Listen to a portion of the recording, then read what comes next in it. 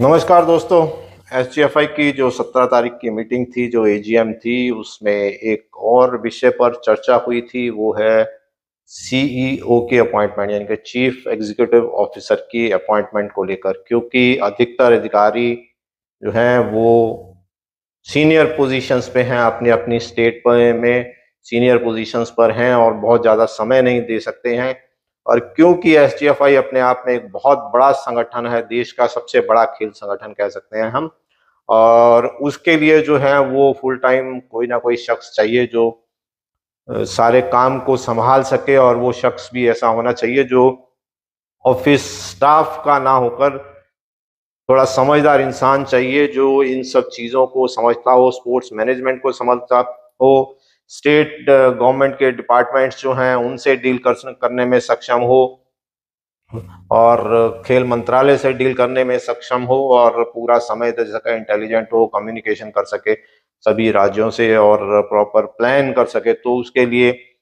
Chief executive officer की ज़रूर ज़रूरत पड़ेगी। फुल टाइम कोई ना कोई अधिकारी चाहिए उसमें और इस सीईओ e की अपॉइंटमेंट को लेकर अभी एस में जो है, वो अभी कश्मकश चल रही है कुछ लोग चाहते हैं, कुछ लोग नहीं चाहते हैं। चीफ एग्जीक्यूटिव ऑफिसर यानी सीईओ को लेकर हमारे मन में थोड़ा सा संशय ज़रूर है, उसका एक कारण है कि अगर हम सीईओ की बात करें तो एस में अभी एस प्रेसिडेंट जो है, वो सबसे बड़ा पावर सेंटर जो है, वो वही है और एस को वही डायरेक्शन दे रहे हैं, वही चला रहे हैं। लेकिन क्योंकि उनका कम्युनिकेशन बहुत ज़्यादा स्टेट से नहीं है, बहुत ज़्यादा समय नहीं दे सकते हैं तो उस कंडीशन में सेक्रेटरी जनरल दूसरी पोजीशन है वाइस प्रेसिडेंट भी हैं, वहाँ पे मौजूद हैं। लेकिन जब आप सीईओ e लेके आएँगे तो सीईओ e एक नया पावर सेंटर हो सकता है प्रेसिडेंट एक पावर सेंटर है सेक्रेटरी जनरल एक पावर सेंटर है, और तीसरा पावर सेंटर जो है वो सीईओ बन जाएगा, यानी कि सीईओ जो है वो सभी काम देखेगा, सभी चीज़ों को जो है वो हैंडल करेगा। उस सिचुएशन में एक समय ऐसा आएगा कि सीईओ जो है वो सबसे ज़्यादा पावरफुल व्यक्ति बन जाएँगे और कहीं ना कहीं वो एस के जो अधिकारी हैं वो माने ना माने कहीं ना कहीं वो अपने जो है वो मनमानी करने लगता है। जब किसी के पास पावर आ जाती है तो उस पावर का मिसयूज भी होने लगता है और अगर आप कहें कि आईएएस ऑफिसर बैठे हैं, वहाँ पर आईपीएस ऑफिसर हैं और स्टेट के डायरेक्टर्स जो पूरी स्टेट चलाते हैं, उनको चलाने वाले जो लोग हैं, उन पर सीईओ कैसे भारी पड़ जाएगा और वो सक्षम होंगे उस सीईओ को हैंडल करने में तो हमें थोड़ा सा इसमें डाउट है क्योंकि जब पावर आएगी नॉलेज आएगी तो संभव नहीं है कि एस के ये अधिकारी जो हैं, वो सारी चीज़ों को जान पाएँगे क्योंकि डे टू डे लेवल पे जो एक्टिविटी है, वो सीईओ द्वारा होगी और ये अधिकारी उन सब चीज़ों से अनभिज्ञ होंगे। आप कह सकते हैं कि जब हम किसी सपोज़ किसी मिनिस्ट्री में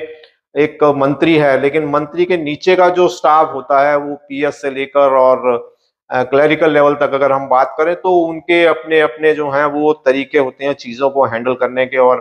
कहीं ना कहीं वो अपनी मर्ज़ी भी करते हैं और कहीं ना कहीं वो अपने इंटरेस्ट को ध्यान में रखते हुए वो मंत्री को भी कहीं ना कहीं मिसगाइड करते हैं। आप कह सकते हैं कि स्मार्ट होते हैं मिनिस्टर जो हैं, वो पॉलिटिशियन, सीनियर पॉलिटिशियन होते हैं और दुनिया भर की समझ होती है और रोज हज़ारों लोगों से उनका मिलना जुलना रहता है और वो इन चीज़ों को समझते हैं, चुन के आए हैं, लेकिन उसके बावजूद भी वो उस ट्रैप में फंसते हैं। क्योंकि निचले स्तर तक सभी जानकारियाँ जो हैं वो उन स्टाफ तक रहती हैं, अधिकारियों तक रहती हैं और यहाँ तो आप जो है वो एक सीईओ अपॉइंट करने जा रहे हैं, जो बहुत पावरफुल इंसान होगा, जिसका डे टू डे कम्युनिकेशन और डे टू डे एक्टिविटी पर पूरी नज़र होगी। आप अगर पिछले कुछ साल एसजीएफआई में देखें तो जिस जहाँ पे पावर जिसके हाथ में पावर थी, उस शख्स को, वो उस शख्स की अपनी इच्छाएँ हो या ना हो, उस शख्स का अपना लालच हो या ना हो, लेकिन उस शख्स के जो इर्द गिर्द लोग होते हैं, उनके अपने अपने लालच होते हैं। मैं अगर कुछ मंत्री बन जाता हूँ तो मेरे जो हैं वो परिवार के सदस्य, मेरे मित्र, मेरे दोस्त, पुराने जानकार, अड़ोसी पड़ोसी, उनकी कुछ आकांक्षाएँ होती हैं एक्सपेक्टेशन बन जाती है कि मंत्री, मेरा जानकार जो है वो मंत्री है, हम ये काम कर सकते हैं वो कर सकते हैं। वो अपने अपने तरीके से उनको जो है वो मशवरे देने लगते हैं। यही, ऐसा ही कुछ जो है वो एस में सीईओ के साथ भी हो सकता है। अब यहाँ पे जब पावर सेंटर जो है, वो अलग अलग पावर सेंटर बन जाएँगे, दो दो, तीन तीन, चार चार पावर सेंटर बन जाएँगे तो वहाँ पे संभावना हो सकती है कि काम इम्प्रूव होने की बजाय वो बिगड़ भी सकता है और जो वो सीईओ e होगा, क्योंकि वो सभी स्टेट गवर्नमेंट के जो लोग हैं, उनसे भी डील करेगा। तो आप समझिए कि इस कम्युनिकेशन में जितनी जानकारी, जितनी नॉलेज जो है, वो सीईओ e के पास होगी, उससे ज़्यादा किसी को भी नहीं होगी। वो चाहे ऑफ़िस का स्टाफ हो, चाहे एग्जीक्यूटिव कमेटी हो, चाहे वो प्रेसिडेंट हो, चाहे वो सेक्रेटरी जनरल हो। तो यहाँ पे एक थोड़ा सा खतरे की घंटी है। मैं आपको एग्ज़ाम्पल देता हूँ इंडियन ओलंपिक एसोसिएशन की हम बात करते हैं। इंडियन ओलंपिक एसोसिएशन में आज अगर हम देखें तो वहाँ पे दो पावर सेंटर इसी वजह से बने हैं। वहाँ पे सेक्रेटरी जनरल नहीं है, नया सीईओ अपॉइंट नहीं किया गया है, लेकिन जो जॉइंट सेक्रेटरी हैं, कल्याण चौबे, वो सीईओ हैं एक्टिंग सीईओ हैं। हालाँकि वहाँ पे फुल टाइम सीईओ नहीं लेके आ रहे हैं। जहाँ तक हमारी जानकारी है, उसके अनुसार जो है, वो सीईओ के अपने एक्सपेंसेस सैलरी खर्चे होंगे, जो कि आज की डेट में इंडियन ओलंपिक जो है, वो नहीं, उसको झेल नहीं सकती है उन खर्चों को। उस वजह से सीईओ नहीं लेके आया जा रहा। तो यहाँ पे देखें कि आप अभी पिछले कुछ दिनों की बात अगर देखें तो कल्याण चौबे, क्योंकि फुटबॉल फेडरेशन के प्रेसिडेंट बन चुके हैं, वो चाहते हैं कि वो, क्योंकि सीईओ हैं, यहीं पे कॉन्फ्लिक्ट और इंटरेस्ट की हमने जैसे बात की यहाँ पे मैं एग्जांपल दे रहा हूँ कि वो क्योंकि फुटबॉल फेडरेशन के अध्यक्ष भी हैं आईओए के जॉइंट सेक्रेटरी और सीईओ भी हैं तो पीटी उषा यानी प्रेसिडेंट के बाद जो है, वो सेकंड मोस्ट पावरफुल सबसे जो है, वो ताकतवर इंसान है अध्यक्ष के बाद। और वो चाहते हैं कि उनकी जो फुटबॉल की टीम है मेल फीमेल टीम वो एशियन गेम्स में पार्टिसिपेट करें, जो कि उनके जो क्राइटेरिया बनाया गया है खेल मंत्रालय द्वारा उसमें हालाँकि फिट नहीं होते हैं। खेल मंत्रालय का मानना है कि टॉप एट जो हैं, वो ही टीम जाएँगे। और जबकि अगर हम फुटबॉल की बात करें, हमारी जानकारी के अनुसार मेल फीमेल में एक टीम जो है, वो शायद दसवें नंबर पर है और दूसरे जो है, वो अट्ठारहवें नंबर पर है। तो संभावनाएँ जो है, वो बहुत कम है। लेकिन उसमें एक जो है, वो लूप होल है, एक पेच है, जिसका फ़ायदा उठाना चाह रहे हैं कल्याण चौबे। वो उसमें ये था कि यदि स्पोर्ट्स अथॉरिटी और लोग ये समझते हैं कि वो टीम जो है, वो कुछ कर पाना में संभव होगी। यानी कि वो अगर टॉप एट में नहीं भी है, लेकिन ऐसा लगता है कि शायद वो अपने जो परफॉर्मेंस है, उसको इम्प्रूव कर सकती हैं मेडल ला सकती हैं टॉप एट में आ सकती हैं। तो उस स्थिति में जो है, वो उनको टीम को जो है, वो भेजा जा सकता है। इसी का फ़ायदा उठाते हुए कल्याण चौबे जो है, वो टीम भेजना चाहते हैं, जबकि पीटी उषा जो प्रेसिडेंट हैं, अध्यक्षा हैं, जो इंडियन ओलंपिक की वो चाहती हैं कि जो सिस्टम बनाया गया है, हम उसी सिस्टम को फॉलो करें और उस सिस्टम में, उस क्राइटेरिया में जो है, वो फुटबॉल की दोनों टीम जो है मेल फीमेल वो फिट नहीं बैठती हैं, इसलिए उनको नहीं जाना चाहिए। तो ये शिकायत लेकर जो आपने अगर पढ़ा हो, पिछले कुछ दिन पहले टाइम्स ऑफ़ इंडिया ने एक न्यूज़ छापी थी कि कल्याण चौबे जो हैं, वो अमित शाह तक जा पहुँचे, क्योंकि अमित, कल्याण चौबे जो हैं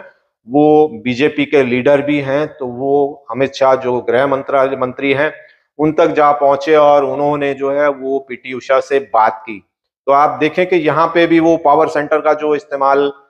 जो है वो करने की कोशिश कर रहे हैं कल्याण चौबे, के वही मैंने कहा कि जो उम्मीदें हैं, वो बढ़ जाती हैं क्योंकि मैं सीईओ हूँ तो मुझे अपना करने का, अपने तरीके से करने का अधिकार है, मुझे भी जो है, अपनी पावर इस्तेमाल करने का अधिकार होना चाहिए, जबकि इसके लिए पीटी उषा ने साफ़ मना कर दिया। तो इंडियन ओलंपिक में यहाँ दो गुट साफ़ दिखाई दे रहे हैं आज की डेट में। आने वाले समय में क्या होगा, ये नहीं कह सकते। हालाँकि दोनों अभी एक फ्रांस में जहाँ तक मेरी जानकारी है मीटिंग है, उसमें दोनों लोग गए हैं। तो लेकिन यहाँ पे दो गुट जो हैं, वो बनते दिखाई दे रहे हैं। अब ये आने वाले समय में ये जो डिस्प्यूट पैदा हुआ है, ये जो एक दरार आई है, ये दरार कितनी बड़ी होगी, ये समय के साथ पता लगेगा। लेकिन आप देखें कि यही चीज़ हम कह रहे हैं कि कहीं एसजीएफआई में तो नहीं होने जा रही, अगर सीईओ अपॉइंट होता है और वो सीईओ कहीं एक और पावर सेंटर बन जाए, इस बात की कोई गारंटी नहीं ले सकते। हमें कई स्पोर्ट्स में लोगों से बात की कि क्या ऐसा संभव है। तो लोगों का कहना था कि नहीं एग्जीक्यूटिव कमेटी आपस में डिस्कशन करके कोई अच्छा इंसान लेके आ सकती है, लेकिन जिसको भी वो लेके आएँगे, इस बात की क्या गारंटी है कि वो बदलेगा नहीं? और आप ओवरनाइट सीईओ को हटा भी नहीं पाएँगे। अगर आपको लगेगा भी कि वो सीईओ जो है, वो ज़्यादा पावरफुल हो रहा है, वो एग्जीक्यूटिव कमेटी को सुपरसीड कर रहा है तो आप ओवरनाइट उनको हटा भी नहीं पाएँगे, क्योंकि बहुत सारे काम जो है उनके बिना रुक जाएँगे।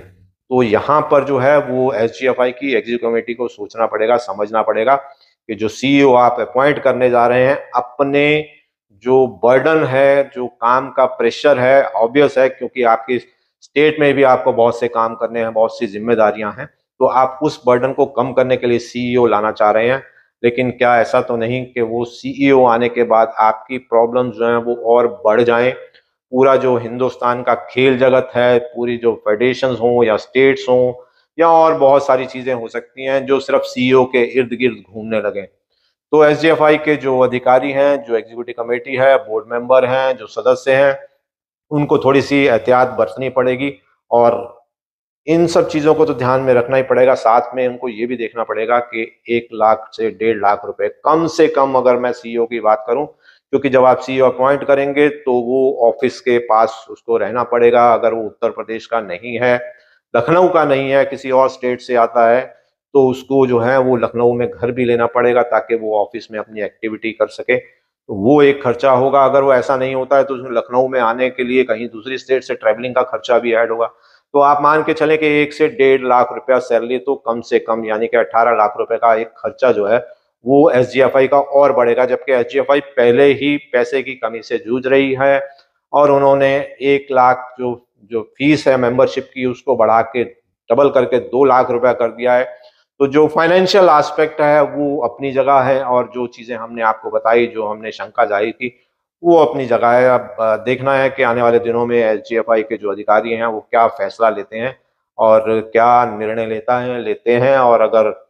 सीईओ आता है तो उस सीईओ से के आने से क्या एस को फ़ायदा होगा या नुकसान होगा? ये एक और क्वेश्चन मार्क है। तो एस के भविष्य जो है, आने वाला साल, डेढ़ साल जो हमें लगता है, वो एस के लिए बड़ा क्रूशल है। और खेल मंत्रालय ने दो संगठन अपने हाथ में लिए और दोनों के अधिकारी जो हैं, वो अपनी मर्ज़ी से लेके आए, एक एस और एक इंडियन ओलंपिक एसोसिएशन ये दोनों पर जो हैं, वो पूरे देश के खेल जगत की नज़रें टिकी हुई हैं, बहुत सारी जिम्मेदारियाँ हैं और आने वाले एक साल, डेढ़ साल में क्या कुछ बदल सकता है और अगर वो बदलेगा तो अच्छे के लिए बदलेगा या बुरे के लिए बदलेगा, ये कुछ सवाल हैं जो भविष्य के गर्भ में छुपे हुए हैं। अगले एक साल, डेढ़ साल में देखना होगा कि ये क्या रुख लेते हैं। तो नई जानकारी, नई इन्फॉर्मेशन तक के लिए मुझे इजाज़त दीजिए। वीडियो अगर आपको पसंद आया हो तो वीडियो आप लाइक कर सकते हैं सब्सक्राइब नहीं किया चैनल तो सब्सक्राइब कीजिएगा। और इससे लेकर या और किसी चीज़ से लेकर आप अपनी राय ज़रूर रखिएगा कि क्या एस को सीईओ e रखना चाहिए या नहीं रखना चाहिए। कहीं ऐसा तो नहीं कि इंडियन ओलंपिक की तरह वहाँ पे भी दरारें पैदा हो जाएँ। तो अगली वीडियो अगली इंफॉर्मेशन अगली जानकारी के साथ फिर मिलेंगे। मैं हरपाल सिंह थोड़ा तब तक के लिए आपसे इजाज़त देता हूँ। शुक्रिया।